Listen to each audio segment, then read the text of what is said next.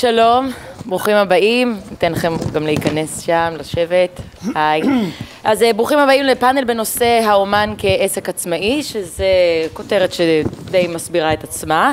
שמי חן ליברמן, אני עורכת התרבות בחדשות 10, ואני מודה שבדרך כלל יש לי רק אה, שלוש דקות אה, להתעסק בנושאים שאני מסקרת, עשר דקות זה כתבת עומק, אז אני מאוד שמחה על ההזדמנות להיות כאן בפאנל הזה, שאורכו שעה, ושעוסק גם בנושא שבכלל לא יוצא לי לעסוק בו כל כך במסגרת התפקיד שלי. אז אני רוצה קודם כל שכל אחד מהנוכחים יציג את עצמו עם שני משפטים, ונשמור עוד רבע שעה בסוף הדיון לשאלות מהקהל. נתחיל איתך, חנן. חנן יובל. Uh, היום אני זמר ומלחין. פעם לא חשבתי שאני כזה, לא התכוונתי להיות כזה, יש לי פה עד על ידי, אבל איכשהו uh, החיים הביאו אותי לכך. ונדבר על כך שבאינטואיציה מצאתי את הדרך להיות עצמאי ולהגיע לחוף מבטחים מזמן כבר ולעשות מה שאני אוהב. אני uh, מלחין, אני מפיק עבורי ועבור אחרים, אני יוזם וטוב לי בחיים. מברוק, שמחה לשמוע. לא גנבו לי ולא שתו לי ולא אכלו לי אף פעם. זה טוב לפאנלים, לא לכתבות. כן. היי, אני אליעד. כן. נחום, אני אוהב לשיר, ואני אעשה את זה כל החיים. ואני מנסה לעשות את זה? הכי טוב שיש, כן. זהו. שמי אור מרמלשטיין, אני המנהל של אליעד אה, ומאמין בדור החדש של אה, ניהול אישי אה, ללא חברות אה, וכל המסביב. שמי איילת פרץ, אני מאמנת אה, מעל עשור, מאמנת אומנים, מנהלת את מחלקת אימון אומנים בתות ביחד עם מיכאל ואסף מימון. שלום, אני מיכאל תפוח קוראים לי. במשך הרבה שנים אני מנהל קריירות של אומנים, ולאחרונה אני, ביחד עם איילת, אני מאמן במסגרת תות, מאמן אומנים, הקמנו שם מחלקת אומנים, וזהו בינתיים. שלום, שמי אילן לוי, אה, אני נמצא בבית, אני מרצה פה באונו, אני עוסק 20 שנה בייעוץ, ליווי ואימון של עסקים, מה שנקרא SMB, Small Medium Business, ואנחנו מנסים להקנות לדור הצעיר באונו את הכלים שהם יוכלו להתמודד עם העולם הזה בעתיד הקרוב שלהם. טוב, תודה, הייתם קצרים ולעניין, יפה. אה, אני רוצה שהנושא הראשון שלנו יעסוק באמת בעובדה שאנחנו לא רואים יותר מדי אה, אומנים בלי מנהל ויחצן וסוללה שלמה שמקיפה אותם. אה, ונשאלת השאלה אם היום בנוף המשתנה של תעשיית המוזיקה הדבר הזה בכלל נחוץ, ואולי הוא נחוץ בגלל ש... אומן, עצם היותו אומן סותרת את היותו איש עסקים בעל חוש עסקי מפותח. אז מעניין אותי לשמוע עד כמה אתם חושבים שיש ניגודיות בין מישהו שמתעסק באומנות לבין מישהו שגם מבין מה הוא צריך לעשות בשביל לעשות מזה כסף. נתחיל איתך חנן. מיכאל היה פה המנהל שלי. ואני זוכר שהיינו יושבים ואומרים, מה יהיה הפתרון לחודש הבא? זוכר את המשפט הזה? איך נפ... לא, לא את השנה הבאה, אלא את החודש הבא. כל מה שאני אגיד היום זה אמירה של חדר מדרגות, זה הכל בדיעבד. לא שחשבתי שככה צריך, רק האינטואיציה עבדה. והחיים הוליכו אותי ל... ל... עד שיום אחד הבנתי שזה מה שצריך לקרות.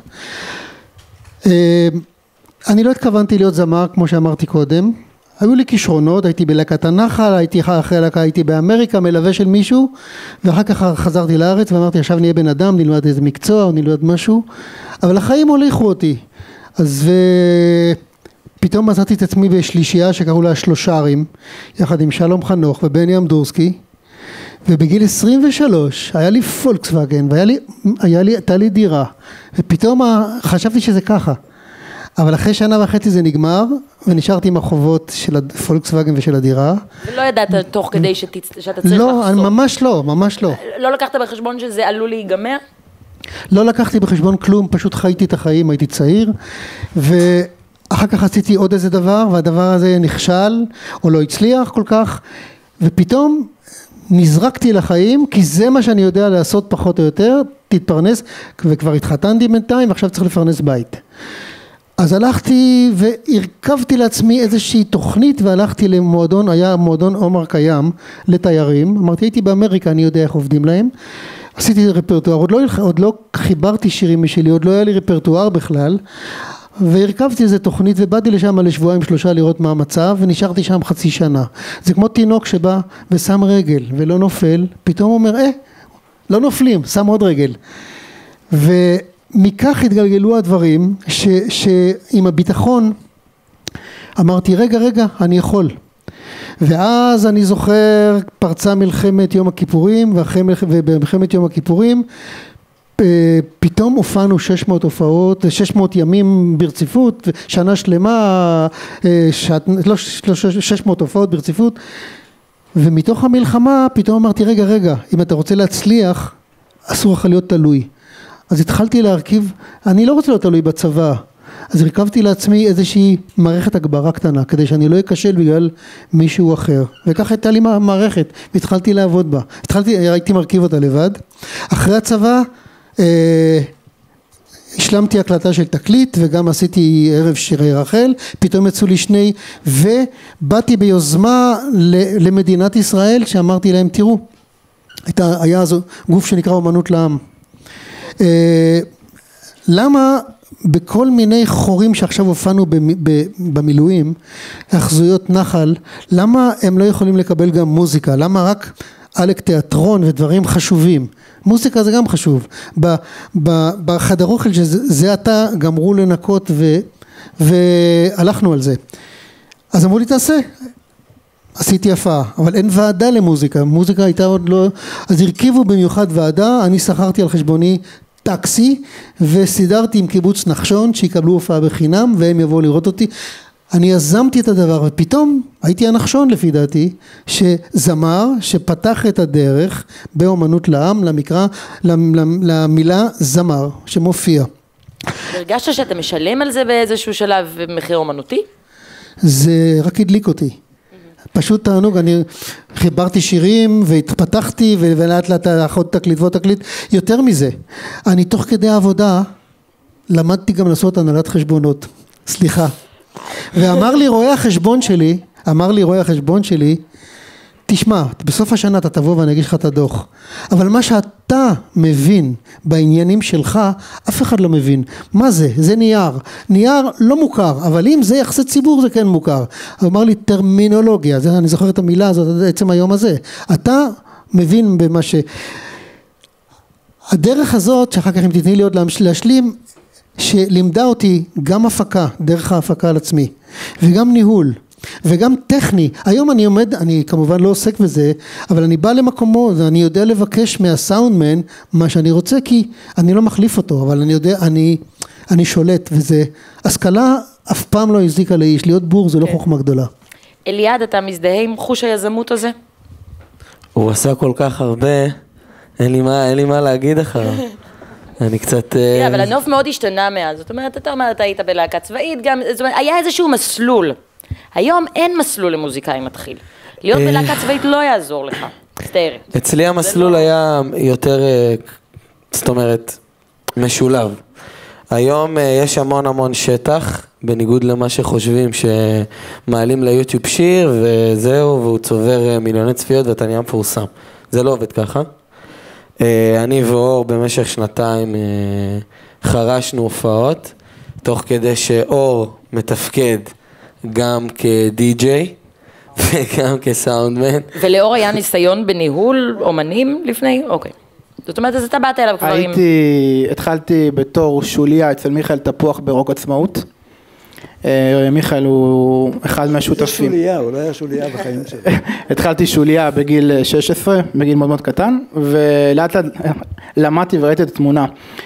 התחלתי לעבוד עם שלישיית מה קשור, אה, גם כן בתור שוליה, ואז אה, אחרי הצבא פנה אליי סבלימינל, אמר לי תקשיב אני בדיוק נפרד מהצל עכשיו, אני רוצה ניהול, והתחלתי לעבוד איתו. עזבתי את סבלימינל ורציתי להביא איזה vision, היה לי חלום, להביא משהו שנשמע כמו חו"ל לארץ. ופה הנקודה שאני ואליעד התחלנו, עם כל מה שקשור ל... איך הגעתם אחד לשני? זאת אומרת, ב- באיזה גיל זה היה? במקרה. במקרה. במקרה במועדון, ב- הוא עלה אוקיי. פשוט, נתן איזה נאמבר באנגלית בכלל, אמרתי לו אחי אתה טוב מדי לארץ, תעשה את זה בעברית, אל תשאיר באנגלית. אה, וטוב, אתה מקבל אומן, אתה צריך לפרנס אותו, הוא צריך שיהיה לו שכר דירה, הוא צריך שיהיה לו אוכל, צריך שיהיה לו רכב לנסוע, ואני והוא אין לנו כסף, אתה פונה לחברות התקליטים, אתה מתחיל לדפוק על הדלת, וכולם, אתה יודע, דופקים לך כזה, עם הרגל. לא עכשיו, לא עכשיו, אנחנו עמוסים. ואמרתי, טוב, צריך איכשהו להתחיל. אה, לקחנו את כל הכסף שהיה לנו, רצינו לקחת יחצן, יחצן עולה 6,000-7,000 שקל בחודש, אני רוצה להתעכב על זה, האם באמת צריך לקחת יחצן היום? כבר מגיע לזה. אמרתי לו, אליעד, בוא נשקיע את הכסף הזה בקליפים ובמוזיקה עצמה, את היחסי ציבור תשאיר לי, אני לא מכיר אף אחד, אבל תן לי צ'אנס. הייתי סופר, אוקיי. הייתי סופר רעב, ולך לא הייתה ברירה אחרת. אין כסף. זרמת. אני, אני אגיד לך משהו, הוא אני, התפרנס, באותה- תספר לנו אם התפרנסת באותה תקופה. אני, הייתי מתקלט. כל הלילה. אה, רגעי ודאנסול בפלורנטין. חמש, שש, שבע, שמונה שעות בלילה בפאבים. בשביל גרושים. בשביל גרושים, וזה בעצם, מזה הייתי מתפרנס. ואני העדפתי מנהל אה, צעיר ורעב, אפילו אם הוא חסר ניסיון, מאשר להיות בחברת תקליטים גדולה מספר אה, 15. אה, זאת אומרת, אם יש בחברת תקליטים לצורך העניין אומני ענק אה, כמו אה, עברי לידר או ריטה, שלשמחתי גם אני הקלטתי את הדואט באלבום הזה, שזה בכלל משהו שלא לא חלמתי עליו גם אם הייתי נכנס לחברת תקליטים, לעשות דואט עם, עם ריטה בזמן כל כך קצר. אז בעצם אני חושב שהשילוב הזה של שטח ויוטיוב אה, הוא מאוד חזק, זאת אומרת, אני העליתי את השיר הראשון שלי, ופתאום אני רואה שהוא צובר מיליוני צפיות, ואנחנו חורשים מועדונים, מגיעים להופעות, ולאט לאט לאט זה התפתח, עד שבעצם הרדיו נתן פליי. שאת זה לא היה לנו לפני, כי לא היה לנו יחסי ציבור. הייתי הולך לתחנה תחנה, הייתי יושב להם בדלפק, בכל תחנה יש דלפק כניסה, שאם יש פה אומנים צעירים, אתם בטח מכירים את זה, שאתה מגיע לבחורה שיושבת שם, והיא מקבלת כמוך בערך איזה 15-20 אנשים ביום שמביאים לה את החתיכת פלסטיק, והיא פשוט לא מתייחסת אליך. אז אתה מחכה לשדרן שיסיים את התוכנית, מחכה לו ליד האוטו, אומר לו, קח, תשמע, בדרך הביתה. וככה עוד שדרן ועוד שדרן, ואז גיא, גיא פינס, לא עונים לך במערכת. אתה הולך לגיא פינס, נוסע לרחוב לתל אביב באזור יגאל אלון, עולה במעלית קומה שנייה, הולך לעורכת של גיא פינס, ומדבר איתה שיש פה אומן, שעכשיו הוא להיט מטורף, והיא אומרת לך בסדר בסדר נחזור אליך. ואז הגיע גלגלצ. שגלגלצ שינתה את כל התמונה. וזה הגיע בגלל שדפקת על הדלתות והבאת לא, להם... זה הגיע בגלל השטח. נכון, עכשיו כשאתם אומרים שטח, עכשיו לנו זה היה. סופר קשה, כי יש לי גם עבר. כן. אז הילד משמש הוציא לדבר שיר. על העבר? אז יש לי גם עבר וזה, זאת אומרת, לא, אני לא מגיע נקי, זאת אומרת, ברגע שאני מביא סינגל למישהו, אז הוא, תפסו את זה בהתחלה כגימיק או כצחוק, כי אתה יודע, אתה ילד משמש, בא, מביא שיר, כאילו, what the fuck, מה אתה רוצה, לך הביתה. אז כאילו, לקח גם זמן, לקח גם זמן עד שזה התאזן. ועד שהבינו באמת שיש כאן אה, דרך ומישהו שעושה מוזיקה ו... אתה חושב שאולי העבר שלך כן עזר לך יותר מלאומנים אחרים שאין להם את העבר הזה, בכל זאת לפתוח איזושהי דלת? לא. לא, ההפך? לא, להפך, אני אגיד לך מה, כי זה לא בתחום משחק. כן. כל שחקן אה, או סטנדאפיסט יודע כמה קשה לעשות את המעבר בין סטנדאפיסט או שחקן או מישהו שמזוהה כמשהו קומי לאמן שמוציא מוזיקה ורוצה שיתפסו אותו בצורה רצינית. זה מאוד מאוד קשה. לשמחתי הצלחנו לעשות את המעבר הזה, אבל במשך שנה, שנתיים זה היה מאוד מאוד מאוד קשה. זה אפילו... מילה קטנה. כן. קצר. תמיד היו שואלים אותי שאלות כאלה, והייתי אומר, תראו, איש אחד הלך למרוץ סוסים, מספר לחבר שלו, שהלך למרוץ סוסים, ופתאום קופץ לי מישהו על הגב ואומר לי דיו. מה עשית? מה, מה יכולתי לעשות? הגעתי מקום שני. אני, חושב, כן. אני רוצה להגיד, קודם כל, שאפו לשני החבר'ה הצעירים האלה שלטעמי הם לקחו את הדבר הזה ולקחו אותו קדימה ולא ויתרו וישבו בדלפק והוא תקלט 7-8 שעות בלילה וזה מראה את ה passion שלהם, זה מראה את המקום שלהם, כמה הם רוצים את זה. והיום, לצערנו, לא כל המוזיקאים אה, יש להם את ה passion הזה, ומי שרוצה באמת להגיע, אז הוא צריך לעשות באמת כברת דרך גדולה, אני לא אומר שלא, אבל הוא צריך קודם כל לרצות. ואם הוא לא רוצה זה לא יקרה. והחבר'ה האלה כנראה רוצים, ושנה שלמה ושנתיים כנראה לא ייאשו, לא, הם לא התייאשו, והם המשיכו לדפוק על הדלתות, ולמרות שעשו להם ככה, הם נכנסו דרך החור של המנעול. וזה אני חושב סוד ההצלחה, שהחבר'ה הצעירים, הצעירים היום צריכים להבין שהעולם משתנה, ופעם מה שהחברות תקליטים או נארים כאלה ואחרים כבר לא קיימים היום, או כמעט ולא קיימים, והיום אם אתה לא תהיה עצמך ולא תביא את עצמך לקדמת הבמה, אתה לא תהיה שם.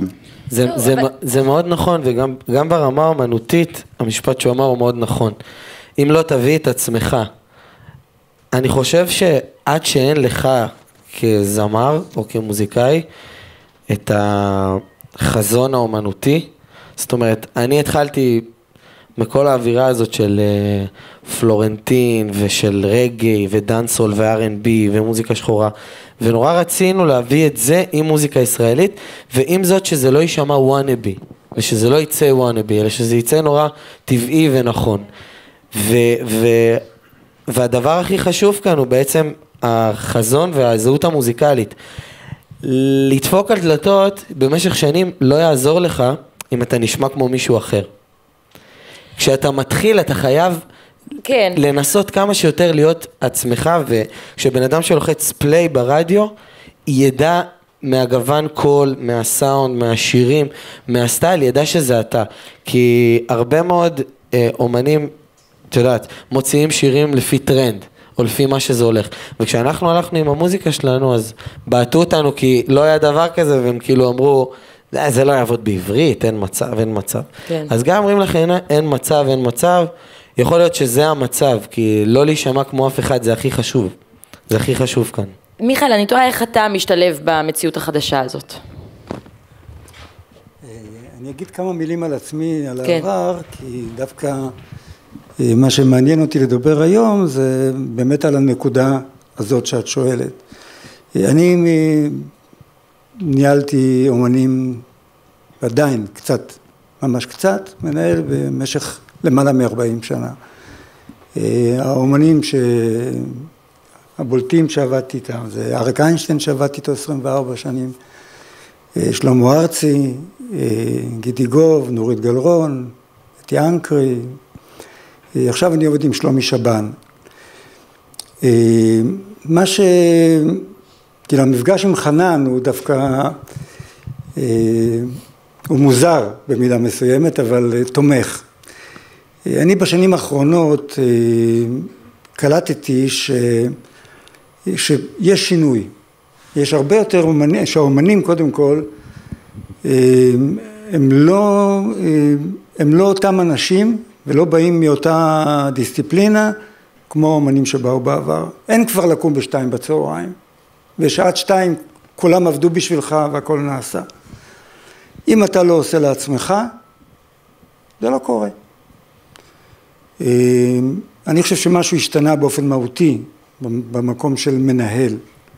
אני חושב שיש יותר ויותר אומנים שאין להם מנהלים ושיש את הצורך, ויכולתי לאבחן בצורך, שהאומנים רוצים להתנהל לבד, רוצים לשלוט בדברים, יש להם דעה, הם מדברים על כסף אה, בלי להוריד את העיניים, ולצורך זה אה, אה, ראיתי שיש, שהשינוי צריך לבוא ממקום שצריך להדריך את האומנים לעשות את הדבר הזה, כדי שהם יוכלו קודם כל לתרום מאה אחוז ממה שצריך, שהם יתנהלו בכל דבר, בכל דבר ניהולי, בכל דבר... מה הביא לשינוי הזה בגישה של האומנים? העובדה שפשוט עושים פחות כסף, ובגלל זה הם חייבים לא בכלל, להוריד לא, את לא. הסוכנים? לא, מה, ש, מה שקורה זה, זה תהליך אה, שיש, של, של הטכנולוגיה יש חלק משמעותי בו.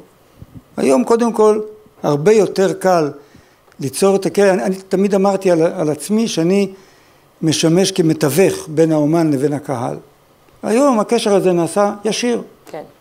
יש גם טכנולוגיה אלקטרונית דיגיטלית, אם זה דרך יוטיוב או כל דבר אחר, דרך הפייסבוק, ואין אין, אין קושי היום לאומן להגיע לקהל שלו, והקהל אוהב את זה, אוהב את הקשר הישיר. זה, זה מה שלקח אותי למקום של ל, ל, לעזוב את, את, את המקום של הניהול ולהפנות את המאמץ למקום של אימון. ובאמת דרך, אה, דרך תות אה, למדתי שיש כלים שאם בן אדם, באופן כללי אנשים, לאו דווקא אומנים, אבל מכיוון שאותי זה מעניין מהצד של האומנים, אתה מקנה להם את הכלים להתמודד לבד מול, ה... מול, ה... מול הדברים. ונראה לי שאפילו אני עצמי, אני במשך, לא יודע, 40 שנה הייתה לי מזכירה. כבר שלוש שנים אין לי מזכירה. כי אין, אין לי צורך. כאילו, באיזשהו אופן אני מרגיש שהחזרתי את השליטה על החיים שלי אפשר להגיד לך משהו? עוד לא, חכה. פעם היה לך, טל... פעם לא היה לך פלאפון, היום הם עוקפים אותך, לא צריך את המזכירה, מגיעים ישירות אליך. זה מצוין. זה, מש... זה ההבדל של למה אין לך זה מזכירה. מצוין. לא, אני, זה נכון מה שאתה שכולם אומר. מגיעים היום אליך. עם, ה, עם הפלאפון אני יכול לנהל את הדברים בעצמי. כמובן שיש הפקה, צריך עוד אנשים, צריך עוד זה, זה עניין אחר. אבל אבל בכל. זאת הצלחת למצוא לעצמך נישה שעדיין אה, מצדיקה את, ה- את, ה- את העזרה שלך. כלומר, האינטרנט כן הצליח לבטל הרבה סוכני אמצע, אנשי תיווך, ואתה מצאת עדיין נישה ש, שבגללה כן צריך עדיין את האינפורמציה אני שאתה חושב מקנה. ש... שלאומנים יש... אם, אם אומן עובר אימון ומקבל את ההכשרה שלו, איך לנהל את החיים שלו העסקיים בצורה שחנן המציא אותה עשרות שנים קודם, כי אני עם חנן ספציפית ואני אסגור את הסיפור הזה, הייתה, כמו שהוא אמר, הייתי מנהל שלו, ויום אחד עשינו שיחה ואמרתי לו, חנן, אתה לא צריך מנהל. אתה יכול לעשות את הדברים שלך לבד ואתה תעשה את זה יותר טוב מכל אחד אחר. אני סקרנית לדעת למה חנן ואומנים אחרים לא. לא יודע, אז, עניין של אופי? כן, עניין של אופי ועניין של אה, התנהלות במיליה. מה היה נהוג? חנן הלך ושבר את, הדבר הזה ועשה את זה מעולה פשוט. עכשיו, מה שאני רוצה להגיד זה, ש, זה שהיום אני חושב שאנשים כמוני יכולים להיות הרבה יותר מועילים לאומן כיועצים. ו- והאומנים אה, יכולים לעשות הרבה מאוד פעולות בתחום הניהול קודם כל בעצמם. הם עדיין זקוקים, נניח אומנים, נהוג להסתכל, נניח כשאת פתחת את דברייך ותיארת את הפמליה שאומן מסתובב איתו, מדברים על אומנים בכירים שכבר יש להם כסף ויש להם הצלחה ויש להם הכל. אבל יש גם אומנים שהם בתחילת דרכם. היום כשבא אומן להתייעץ איתי על, על, על דברים, אני אומר, אתה, את ההופעות הראשונות שלך, אתה תשיג בעצמך. אתה תתקשר למקום, אתה תציג את עצמך, אין שום בעיה שאתה תוכל להעביר לאנשים לשמוע את מה שאתה עושה, ואז אתה, אם תצטרך עוד ייעוץ או דברים או עזרה, אז יש מי שיעזור לך בדברים האלה. כן. ככה שההמלצה שלי לאומנים, גם צעירים וגם בכירים, אה, להתאמן, כאילו לבוא ולקבל הכשרה שתיתן להם ביטחון להתמודד מול העולם החיצון, מבלי שזה פוגע בפעילות האומנותית שלהם.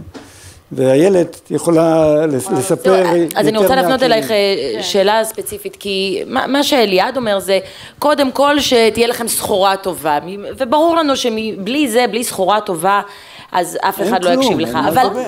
אה, הגעתי לפה לפני כשעה וכבר קיבלתי שני אה, דיסק אונקים מאומנים שרוצים שאני אשמע את החומרים שלהם ואולי אעשה עם זה משהו.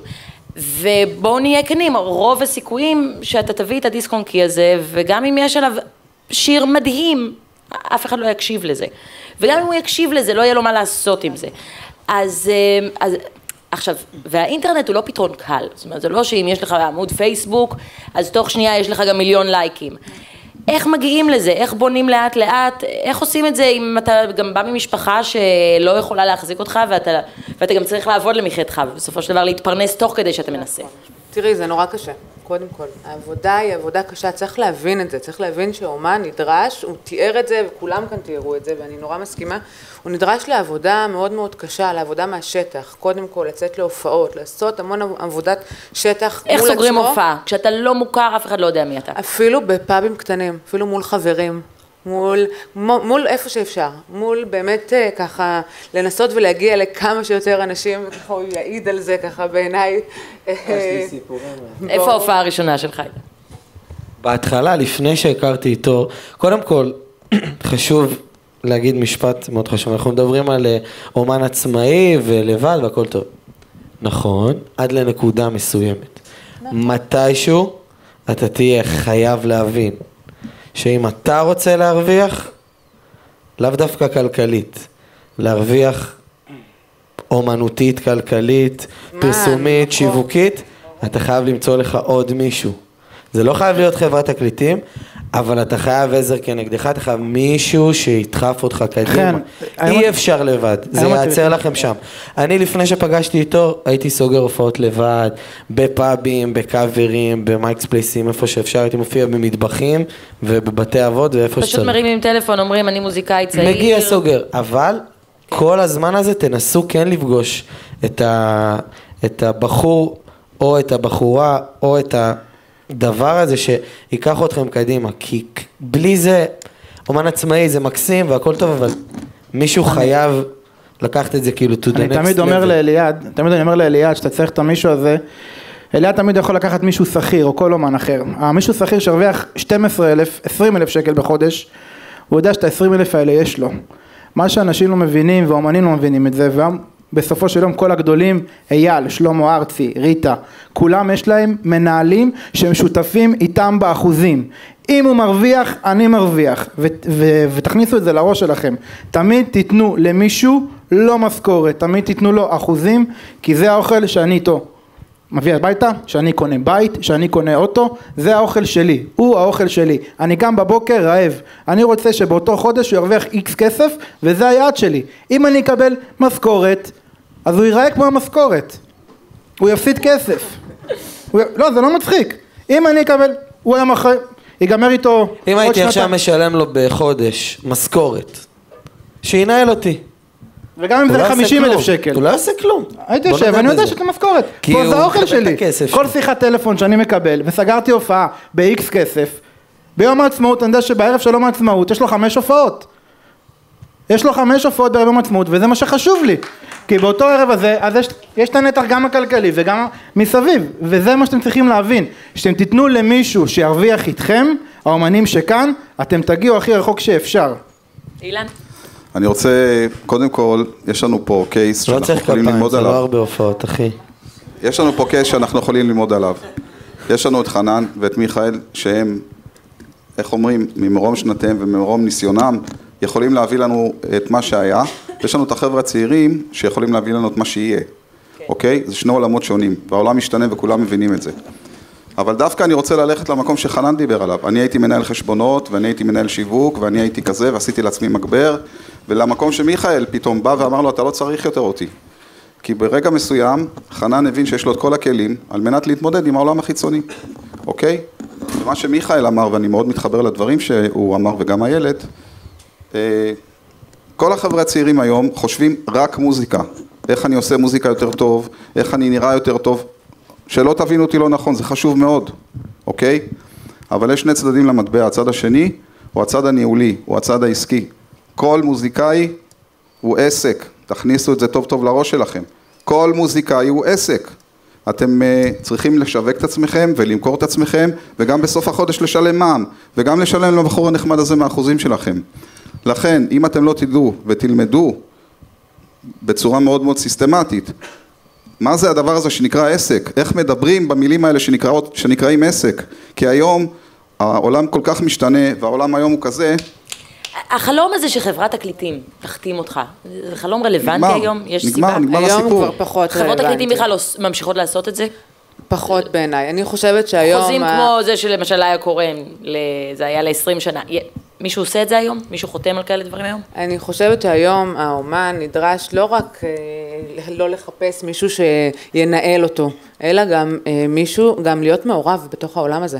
גם כשיש מנהל כאן, וזו דוגמה מצוינת בעיניי, עדיין האומן נדרש להיות מעורב, להיות חלק, להבין שהוא הולך להיות בקיא בפרטים, להבין מה קורה ואיך קורה. נכון, הכי זה- חשוב. מאסטר. ברור, ה- לגמרי. היה לנו עכשיו, היה לנו עכשיו פסטיגל על הפרק, מאסטרים. היה לנו פסטיגל על הפרק, והוא בא איתי לפגישות עם חנוך רוזן, והבנו שכלכלית, אם הזאפה קונים ממני 30 הופעות, או אם ה- 100 הופעות של הפסטיגל, לא שווה לי פסטיגל, שווה לי מיתוג של אליעד, ושלא יהיה בתוך מטאפורה יפה שבלה בלה בלה רוקד, זה לא מעניין.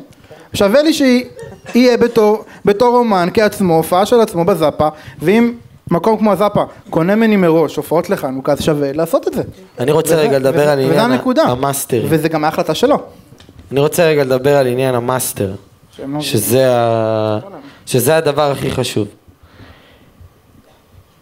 בחברת תקליטים, פעם, ו- ואני, כאילו מההיכרות שלי עם אומנים מנוסים ומדהימים שיצא לי לעבוד ו- ולבצע איתם שירים השנה, הם אמרו לי משפט נורא עצוב. אמרו לי, בואנה, אתה ילד בן 26, ויש לך יותר שירים מלי. אמרתי להם, מה זאת אומרת? הוא אומר לי, לך יש יותר שירים, אין לי את הכמות שירים שיש לך. אמרתי לו, מה זאת אומרת? הוא אומר לי, אני שר את השירים האלה, אבל הם לא שלי.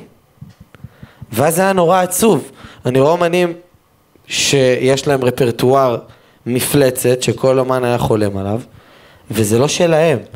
אז העניין הזה של מאסטר, שימו לב אליו, זה הדבר הכי חשוב. גם שיש לכם מנהל, שותפות, שותפויות, הכל שיהיה בשותפות. אחוזים לזה, אחוזים לזה. אף פעם אל תיתנו לעצמכם להגיע למצב שהמאסטר הוא 100%, שלהם כל שיר הוא נכס ואתם לא יודעים בעלות מה יקרה, בשיר. אתם לא יודעים מה יקרה עם השיר הזה בעתיד. אם הוא יימכר לפרסומת, אתם לא רואים שקל. אם הוא יקרה איתו משהו, אתם לא רואים כלום.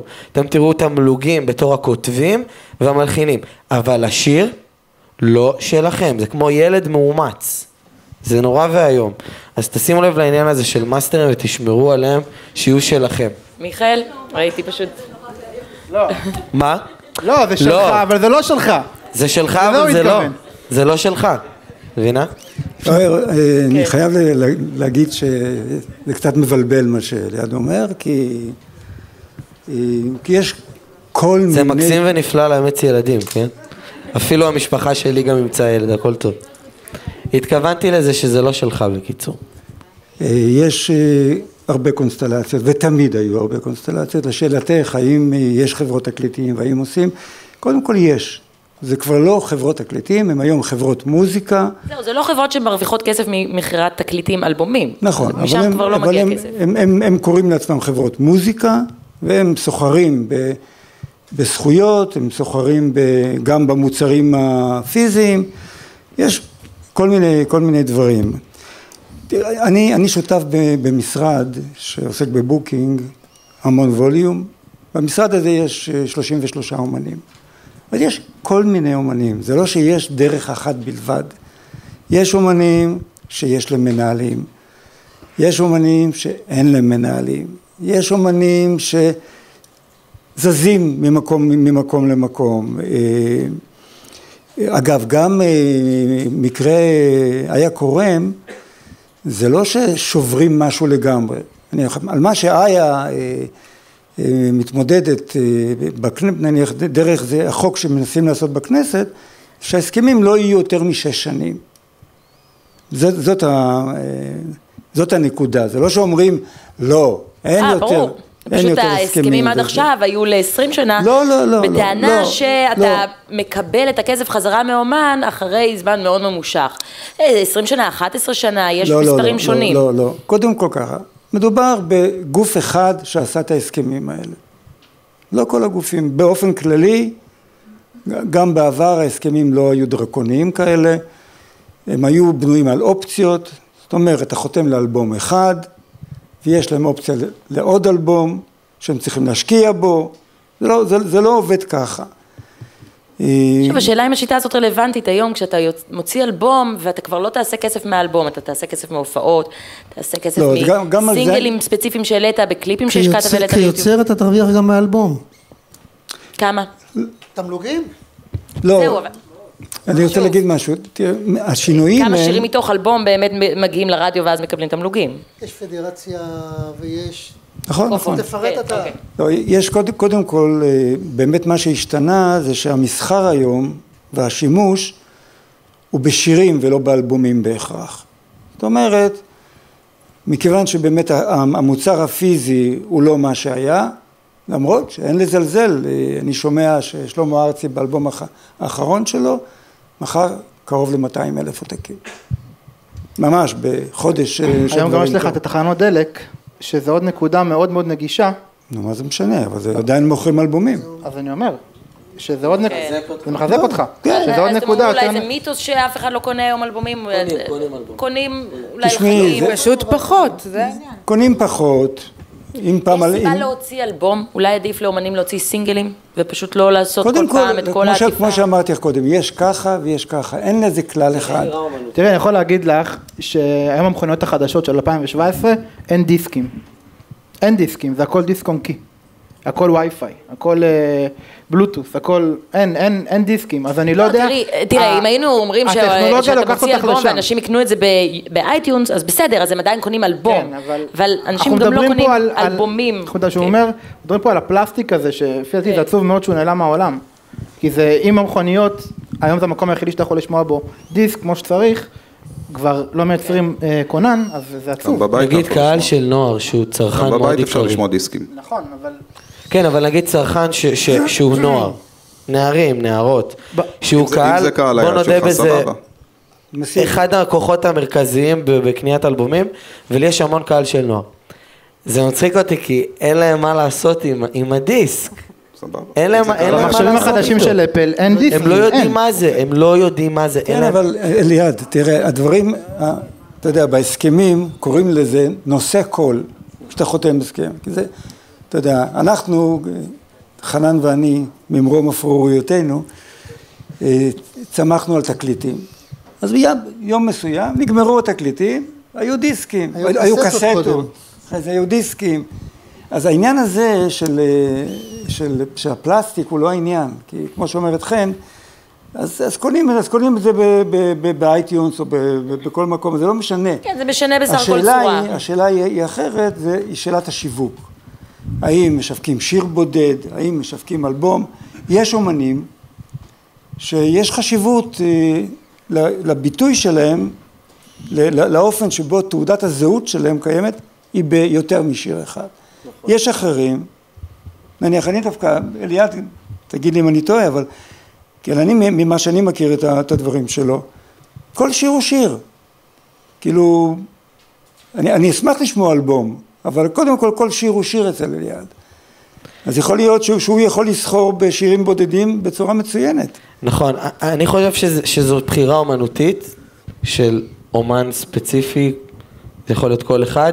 אני אישית מאוד אוהב אלבומים, כי זה מאגד לי תקופה בזמן, ואתה יודע, נגיד אה, האלבום הראשון שהוצאתי, זה תוחם לי את ה... זה עושה לי מין ציר זמן הגיוני לחיים שלי ולתקופות שאני מוציא את האלבומים, ולהוציא רק סינגלים ובסוף לאגד אותם לאיזשהו אוסף, אז זה נראה לי קצת מפוזר, יכול להיות באמת שאני אני גם גדלתי באמת על אתה דור אלבומים. ביניים. אני, אני כן, אתה בדיוק הדור ביניים. זה לגמרי זה. אני חושב- חנן, מה דעתך? צריך לעשות, להיות יצירתיים, למצוא את הדרך של השיווק. לפני שש שנים רציתי להוציא משהו, אמרו לי, אה, זה לא ילך. זה היה משהו שקשור לנושא יהדות, ואני איש חילוני, אבל היה פה עניין של שרטוט של הישראליות והיהדות, אמרו, מה תוציא את זה? זה לא חסידי, זה גם לא פופולרי, זה מה זה?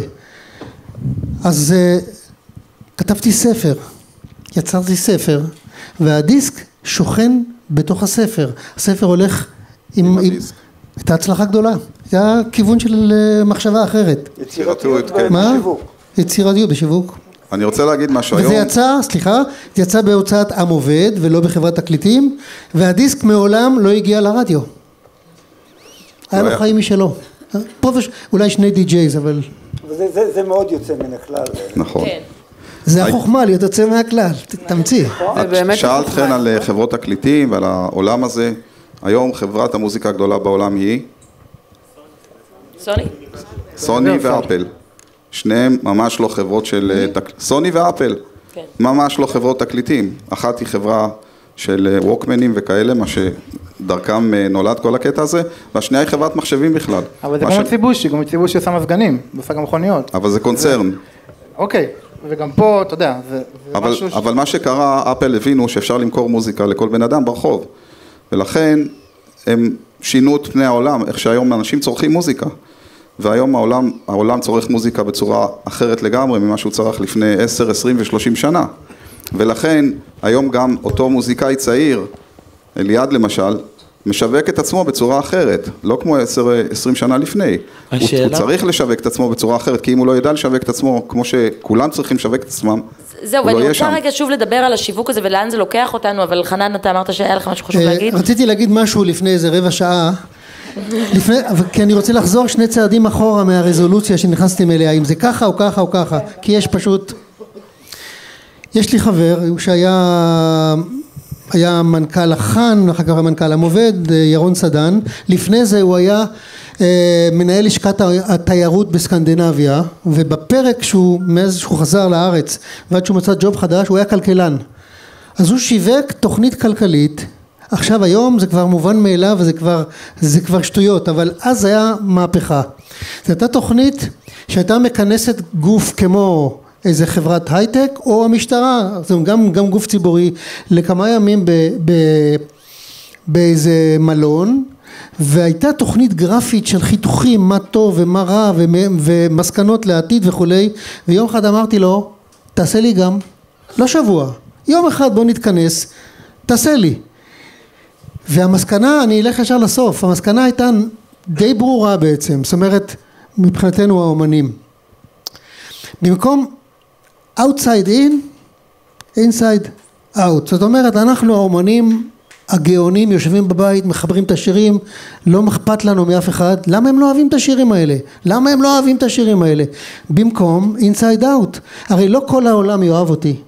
ואני צריך להבין בערך בלי לפגוע באיכות וכולי למי אני מכוון מי הכיוון מה היעד מה, מה, מה, מה המפתח ו, וזה יצמצם ממוקד. מה? שיווק שזה גם ממוקד. הבנה של העולם העסקי בעצם. כן. זו ההבנה, ההבנה שזה קריטי, זה חשוב, על לקרוא את השוק, להבין, רגע, אני עסק. ואם אני עסק ואני רוצה לשווק איזשהו מוצר, אז איך אני עושה את זה? איך אני בונה, בונה תוכנית עבודה? מה אני מייצר? איך אני מייצר את זה? כמובן שהאיכות מאוד קובעת.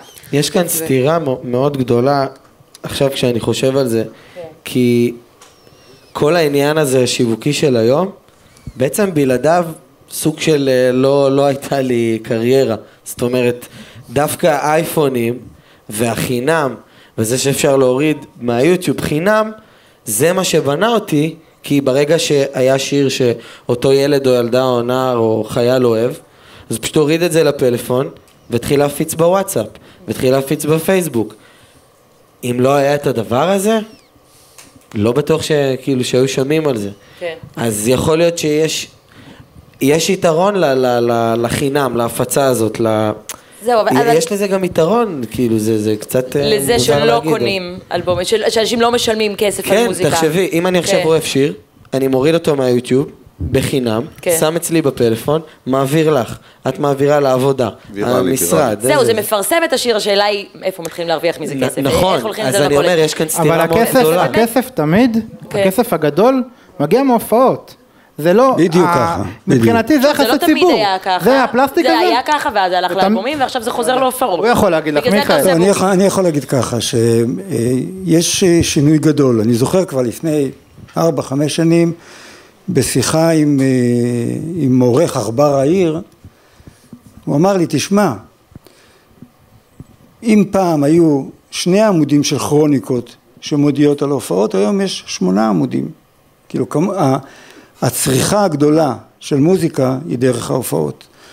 ואחת הסיבות היא באמת אה, אותו שבר שהיה כשהתחילה הפיראטיות וכשהתחילה, כשהתחילו זה שנהיה אה, פחות מוזיקה מוקלטת ו, וגם אין ספק שמהמקורות הרי לפני שהיו כל הדברים וכשהיו טרובדורים לא לא הייתה שום דרך אחרת לצרוך מוזיקה אלא בצורה הזאת כן. וזה ברור שג, שגם היום, זה, אני, אני יכול להגיד שבמשרד כמו שלנו, אנחנו משווקים בסביבות 120 הופעות בחודש. מכל מיני גדלים, מקטנים ועד גדולים. אין ספק שהקהל היום צורך מוזיקה דרך ההופעות, הוא מגיע לידע על המוזיקה, כמו שאומר אליעד, דרך ההפצה הוויראלית כזאת נכון. או אחרת, שבה אנשים אה, מכירים, וזה, ודווקא הדוגמה של אליעד, שהוא אומן יחסית חדש, אתה יודע שבזמנו כשאומנים היו באים אליי והיו, הייתי אומר להם שהתהליך שהם צריכים לעבור על מנת שהם יהיו בסיטואציה שבו הם ממלאים נניח אולמות זה עשר שנים. כשאתה אומר שנה היה לנו קשה זה היה דמיוני אז, אתה יודע. זה משהו שהיום אפשרי. כל מילה שיוצאת לך זה פשוט חוכמה, אני יכול לשבת להקשיב לך שעות. רגע, אבל רגע לפני שנעבור לשאלות מהקהל, כי לא נשאר לנו יותר מדי זמן, אני כן רוצה שנבהיר שזה לא אוטופיה מה שקורה שם ברשת, זאת אומרת כל אחד רוצה לעשות אה, אלבום, מתחיל קמפיין הדסטארט, מגייס את הכסף, הופך לכוכב, אה, סוגר הופעות, עושה מזה כסף, זה ממש לא פשוט ואני אפילו גם תוהה הרי צריך המון אנרגיה בשביל לתחזק עמוד פייסבוק ו- ולעשות את כל הדבר הזה בלי שיש מישהו ששומר זה, עליך. זה מאוד פשוט, אני אסכם לך את זה okay. אוקיי. בקצרה. מה שקורה בשטח זה מה שאתה רואה בפייסבוק. אם השיר תופס, אתה רואה את הצפיות עולות. אם השם שלך מסתובב okay. כן. ומגיע לאנשים בשטח, אתה רואה את הלייקים עולים.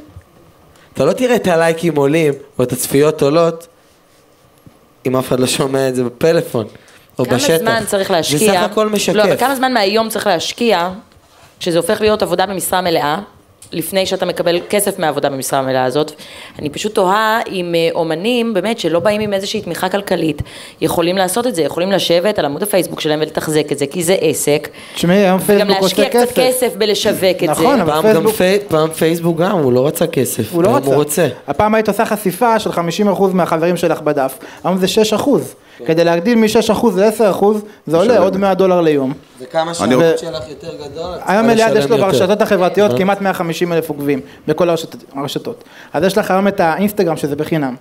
שאת לא צריכה לקדם שום דבר. אבל תכף גם שם. תכף גם שם, עכשיו התחילו לקדם דברים. ופייסבוק, פעם היינו, אתה יודע, רק פייסבוק. היום הם רוצים, אתה מעלה פוסט, 6% מתוך ה-50-40 אלף שיש לו בדף לייקים, רואים את זה, זה כלום. הדברים היום הם כל הזמן בהתפתחות. עלה, עלתה לא מזמן אפליקציה בארצות הברית, כמובן אנחנו גם רואים אותה, שקוראים לה Backstage, שהיא אפליקציה שהושקע בה 50 מיליון דולר לפתח אותה.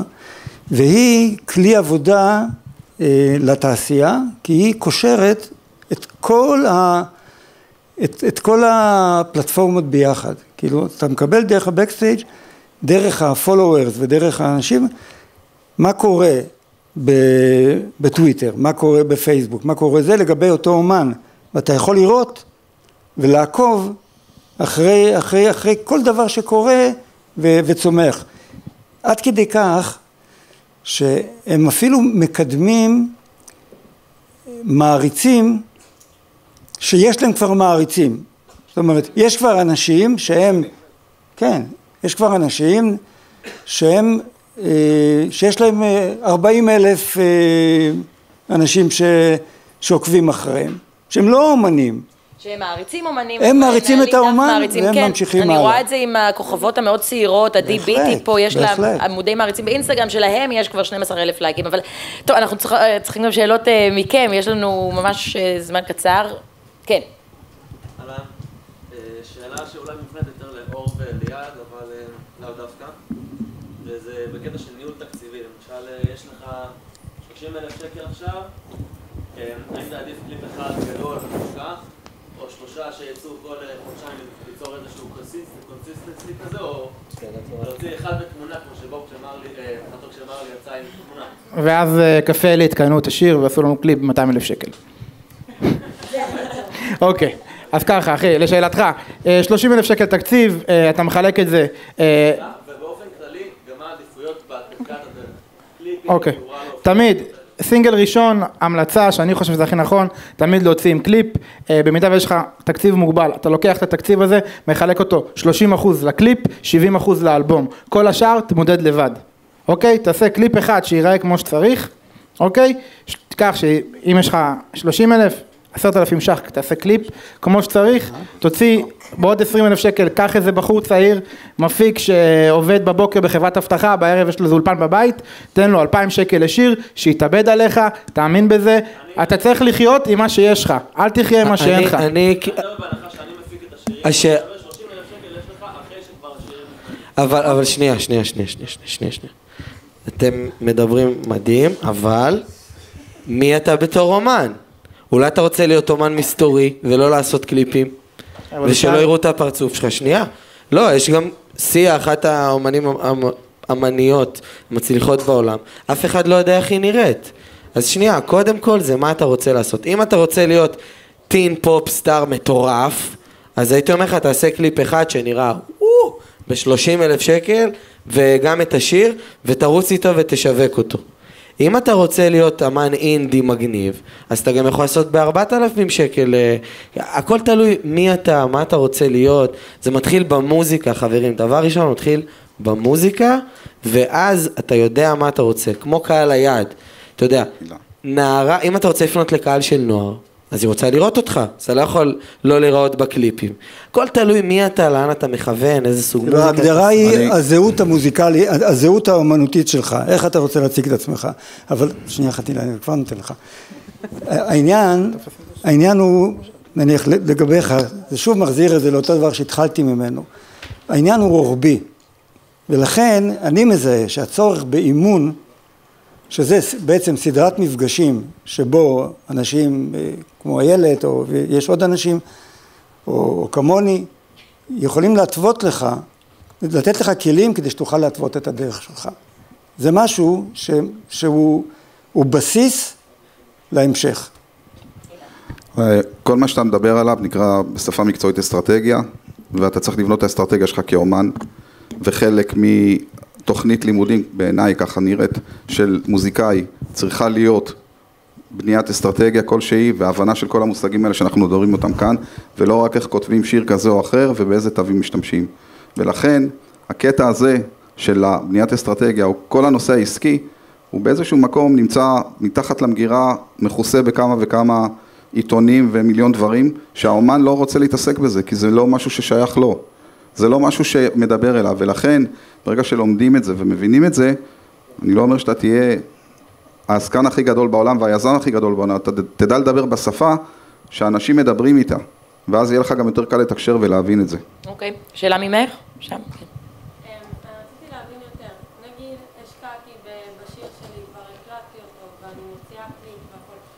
עדיין איך גו- איך גורמים לשיר הזה באמת להצליח? כי לא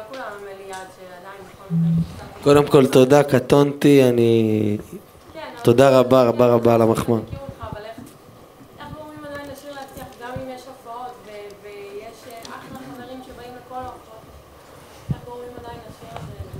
אני חושבת שקודם מתישהו כל... למשפחה כבר אין כוח לבוא לכל ההופעות, זהו, כן. צריך קהל אחר. לגמרי. תראי, אחד זה, עושים את כל הדרך, אבל זו עבודה עדיין אה, קשה. מה זה אומר? זה אומר שצריך המון יצירתיות. לחשוב קצת מעבר, מחוץ לקופסה, לבנות אסטרטגיה, לבנות תוכנית. זה לא, זה צריך המון סבלנות, להבין שזו דרך. זה לא יקרה מחר או מחרתיים, זו דרך שאני צריך לעבור. אוקיי? אז זה, דרך. וזה להבין, ממש לבנות איזושהי תוכנית, תוכנית עבודה מסודרת, יעדים, לאן אני הולך, מה, לאן אני רוצה להגיע, מה הדברים שחשובים לי בדרך שלי, אוקיי? אז זה הכיוון. אני חושב גם שתמיד תחשבי מה אין. אני יודע שזה נורא קשה, כי לפעמים את זו את, ונגיד אם את שרה סול לדוגמה, כבר יש זמרות סול, אז אם תשאירי סול, כבר יש זמרות סול, אז, אז תנסי להביא את הסול שלך לדוגמה עם עוד איזשהו משהו, כאילו תמיד לנסות למלא משבצת או לכוון לאיזשהו משהו, אצלי זה קרה בטעות, זה הגיע ממנו, אה, אבל למלא, למלא משבצת שחסרה. אחר. להיות מה זמרת שאתה אומר שאין, זה זמר כן שאין. אה, להגמיש את החוש האומנותי שלך, זאת אומרת את השאיפות האומנותיות שלך לפי הדרישות והביקוש. אם אתה נורא רוצה לעשות סול אבל אתה מרגיש שיש יותר מדי מזה אז אתה צריך לשנות את אצלי עצמך זה לא קרה בהתאם במודע. לדרישות ואז אולי אה, לעשות הנחות ל... אז אני אומר. אצלי זה אני לא- קרה, אני לא אצלי מאמין זה קרה בדרך במזל. הזאת. אני לא, ממש לא מסכים לזה. אני לא מסכים לזה. לא, אני אומר, אצלי זה קרה במזל. כאילו, פשוט אם קרה אתה לי צריך שיהיה בטעות. לך את ה... אתה צריך להיות מי שאתה, בסופו נכון. של יום, ואתה צריך ללכת אבל עם אתם הדרך מבינים, שלך, אתם- אתם מה שאתם עושים ולהאמין עכשיו- בעצמך. אני מבין מה אתה אומר, מה שאתה אומר עכשיו, יש פה סגנונות, יש פה, הכל בנוי על העתקות. רוב ה-90 אחוז... כל המוזיקה זה שנייה, העתקות. אוקיי. היום, היום אם, אם אותה זמרת מוציאה שיר שדומה לשיר אחר, כמה שהיא תנסה לדחוף אותו, ואם תיקח את היחצנים הכי טובים, אף אחד לא יתייחס כי זה נשמע בדיוק כמו הדבר שליד.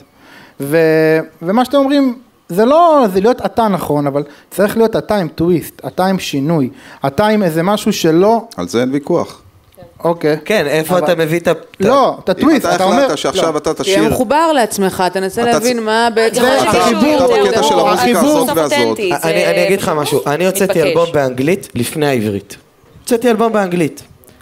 באותו רגע חשבתי שזה אלבום מדהים, אוקיי? כשסיימתי את האלבום, אני מסתכל ואני אומר, בואנה, יש מלא כאלה. כבר יש ג'סטין טימברלק, ויש ברונו מרס, ויש פופ, ויש R&B, ויש dance. במה זה שונה? למה ש-A&R ישמע את זה בחו"ל, ויטיס אותי מישראל, לגור שם, וישקיע בי כסף, כדי שזה יקרה. כבר יש לו שם, כבר יש בצ'ארטים את אותו דבר. אז, אז כאן, על- על- זו, זו הייתה הכוונה כן. שלי. שמעתם את הפאנל הקודם, היו פה ואז חבר'ה הבנתי שזה מאיטליה, לעולם לא יצליח, שמעת מה כי הוא אני אמר? נשמע כמו מישהו שכבר קיים. בדיוק ככה, שמעת מה אמר הבחור מאיטליה? אני לא זוכר לא, את לא, השם לא שלו. אה, טוב, אנחנו יש לא לנו זמן לעוד שאלה אחת, לפני שאנחנו הולכים, כן.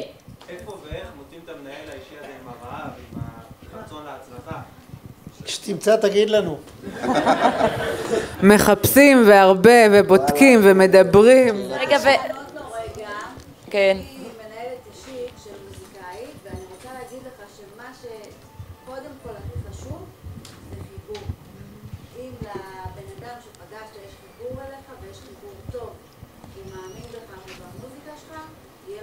אוקיי, ואני רוצה עוד שאלה אחת ממך, כי שכחתי אותך. כן. שאלה דווקא לחנן. אה, האם אתה עושה גם booking בעצמך? כי דיברו פה הרבה על ניהול ועל אסטרטגיה ודוחות כספיים. האם מדובר במנחיית דוחות? עד אה, לפני, אה, עד לפני אה, יותר מ-15 שנה עשיתי גם את ה booking בעצמי. הייתי פשוט קם בבוקר ועושה סיבוב. שווקים השתנו, אין פה מספיק זמן לדבר, אבל מקומות שהיו בנו, היו לנו פעם כמובנים מאליהם, שווקים כמו הקיבוצים, כמו לשכת האומנים של צה"ל, כמו היאחזויות נחל, דברים שנתנו לנו לפתוח כל חודש עם שמונה הופעות ועכשיו תעשה מה שאתה רוצה בלפתוח, לא קיימים. אז העניין הוא ש- של לזהות שווקים חדשים, הייתי יוצא, אבל לפני 15 או 16 שנה אה, התעייפתי, אני מודה, והיום אני עובד עם, אה, לאורך השנים האלה עם משרד, אבל גם במשרד הזה הוא שואל אותי, הוא לא, אני הבוס, זאת אומרת, אני הראש, אני לא הבוס מבחינת הפוזה, כן, אבל אני בהחלט שותף מלא, כי אין, לפי דעתי אף אחד לא מבין טוב את, את השם חנן יובל כמו חנן יובל. יכול, אני יכול לענות רגע כן. לבחורה שם, שעכשיו לא מסתכלת?